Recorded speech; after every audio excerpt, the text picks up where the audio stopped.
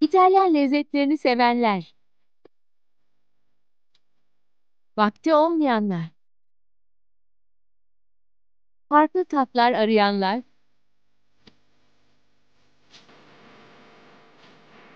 Acelesi olanlar ekran başına.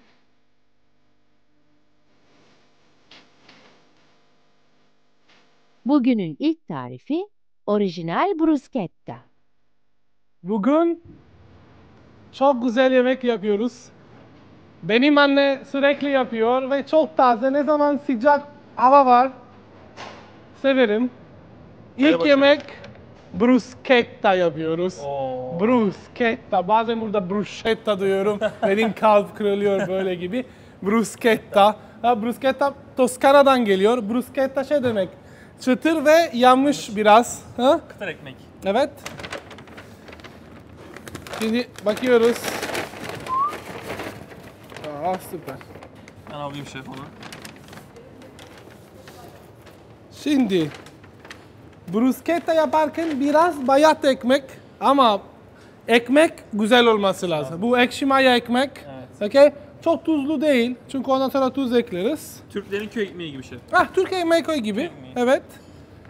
Öyle biraz benziyor.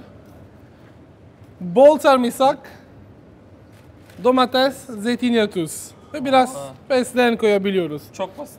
Şimdi sen bu izgarada koy Tamam şef. ve ira, biraz şey yanlış oldu. Biraz siyah Tamam. parçalar olsun. Tamam Okey? şef. Okey. Okey. Ben başka şey hazırlıyorum burada. Bruschetta için ilk iş ekmekleri ızgarada güzelce kızartmak.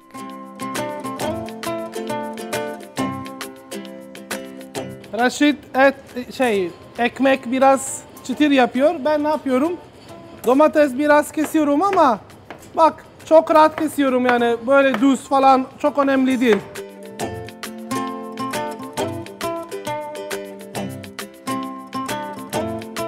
Okey. Öyle biraz rahat rahat kesebiliyoruz. Okey. Bir tabak içeride koyuyorum.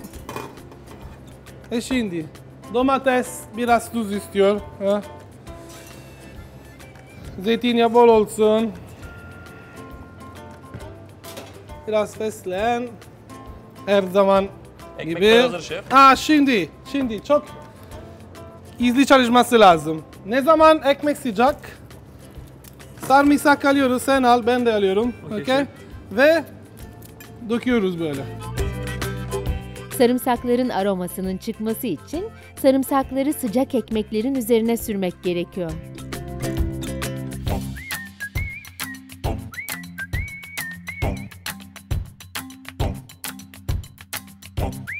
Şimdi bizim ekmek çok güzel sarımsak kokuyor. kokuyor. Ha? Harika oldu şef. Kastamonu kokuyor. Kastamonu kokuyor evet Ercan Usta böyle mi? Ciao Ercan. Seviyoruz size. Evet. Şimdi az az zeytin ekliyorum. Bizim domates böyle biraz rahat üstüne koyarız.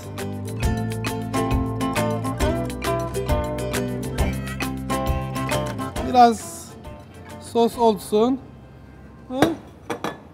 Ve bol fesleğen.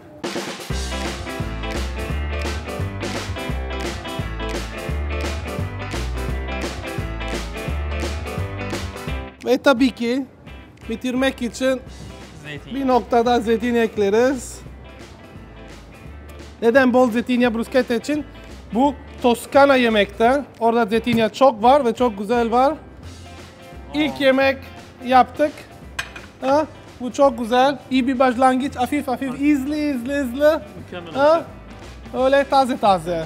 Şimdi ikinci yemek için birazdan sonra başlıyoruz. Okay? Tavuk yapıyoruz. Scaloppini al limone. Limonlu tavuk yapıyoruz.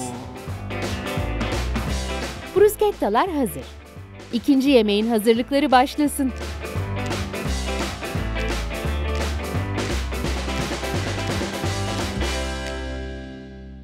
Sıradaki tarif scaloppine di pollo al limone. Şimdi Raşit. Efendim şef. Tavuk iki tane göğüs ile alıyoruz ve Eğer göğüs İnce açıyoruz şef. Evet, ince açıyoruz. Bu biraz böyle kaldı. O zaman da güzel dilim yaparız.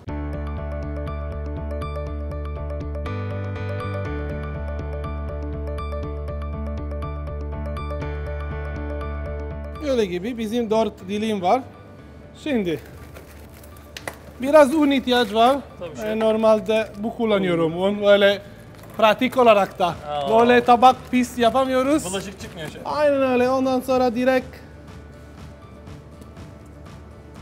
çöp atalım. Tuz.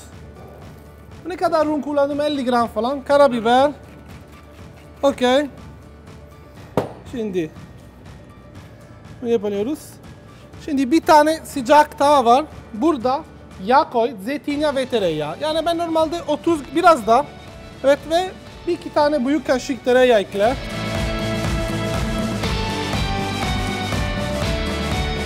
Şimdi tavuk ekliyorum.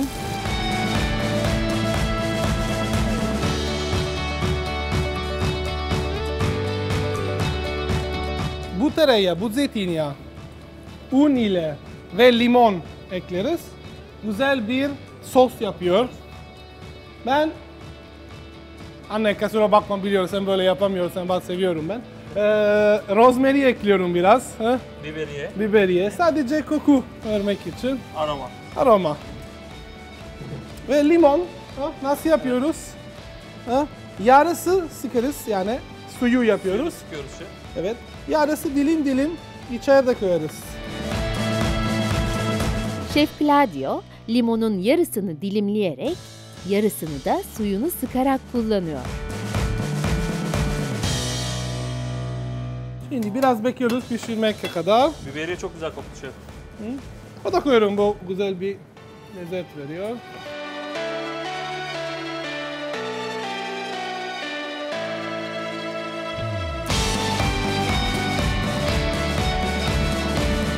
Okey şimdi biraz daha sıcak. Şimdi ne zaman tavuk pişmiş ateş biraz daha sıcak yapıyoruz. Biraz güzel ses yapması lazım.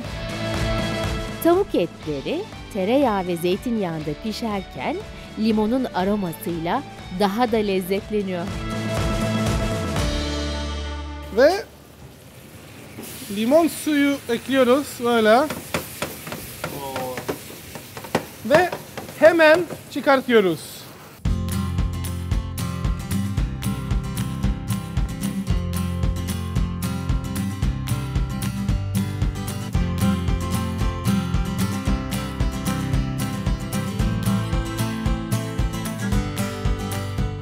Bizim limon ve tereyağı sosu.